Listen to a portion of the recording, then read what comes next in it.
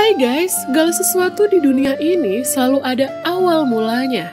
Begitu pula dengan kerajaan Sriwijaya.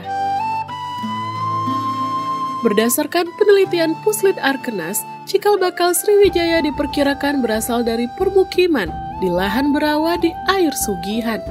Dalam sumber Tiongkok, pemukiman di air Sugihan disebut Koying dan Kantoli. Disebut Koying adalah kerajaan di Nusantara bagian barat yang dikenali orang Tionghoa pada pertengahan abad ketiga. Sedangkan Kantoli yang dipercaya sebagai nama lama Sriwijaya muncul pada abad kelima dan keenam.